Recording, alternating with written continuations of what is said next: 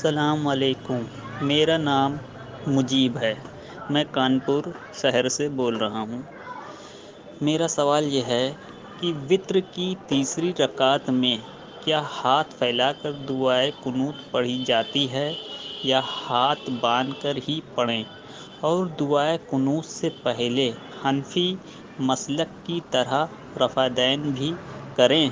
ये मुजीब भाई हैं, कानपुर से सवाल कर रहे हैं। इनका पूछना ये है कि तीन रकत वित्र पढ़ना है तो आखिरी रकत में कुनूत पढ़ते वक्त हाथ उठा के, फैला के कुनूत पढ़ना है या ऐसे ही पढ़ना है, हाथ बाँध के पढ़ना है?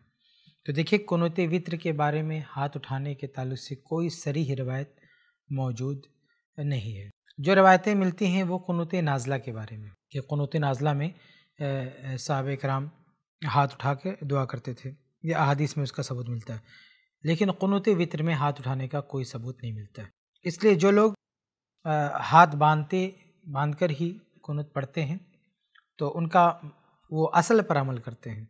कुनूत चूँकि ये रुकू से पहले है, कुनूत वित्र ये रुकू से पहले है, और रुकू से पहले की हालत और कैफियत हदीस में आ गई है कि वो हाथ बाँध के खड़ा होना है। तो हाथ बाँध के खड़ा होना है, ये कैफियत हमको मालूम है। अब इसी कैफियत में कुनूत पढ़ने की बात आई है तो ज़ाहिर है कि असल पर अगर हम बाकी रहेंगे तो ऐसे ही करेंगे, यानी हाथ बाँध कर ही हम पढ़ेंगे। जैसे किरत का मसला है कि हदीस में मिलता है कि अल्लाह के नबी ने रफुद्दीन किया, हाथ बांधा, उसके बाद सुर फातिया पढ़ा। उसके बाद जो किरत करना होता है तो जो भी हम किरत करेंगे, वो इसी पोजीशन में ही करेंगे, क्योंकि वो रुकू से पहले की बात है और हाथ बांधने के बाद का अमल है। तो ऐसे अगर हम किरत के बाद क़नूत वितर भी पढ़ रहे हैं तो वही जो पोजीशन हमारी, उसी में हम पढ़ेंगे। ये असल पर अमल है। तो जो लोग ऐसा करते हैं वो असल पर अमल करते हैं, इसमें कोई हरज की बात नहीं।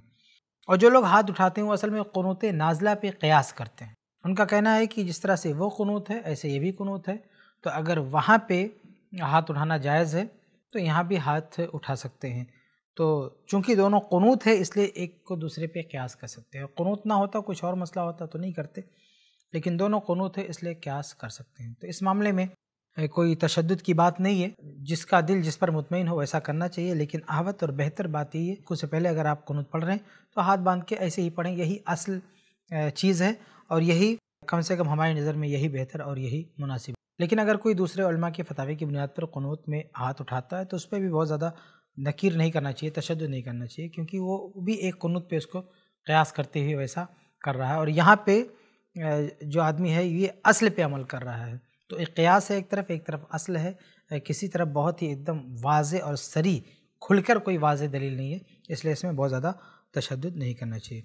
उम्मीद है कि आपको जवाब मिल गया होगा। और इन्होंने एक सवाल और भी किया है, वो ये कि हनफी मसलक की तरह से कनूत में हाथ उठा के रफ़ुल्दैन करेंगे या नहीं करेंगे? तो देखिए रफ़ुल्दैन का सबूत किसी भी सही हदीस में नहीं है। यानी कनूत के टाइम पे हाथ उठाना रफ़ुल्दैन करना, ये अल्लाह के नबी सुन की किसी भी सही हदीस से साबित नहीं है, इसलिए इसकी गुंजाइश नहीं है।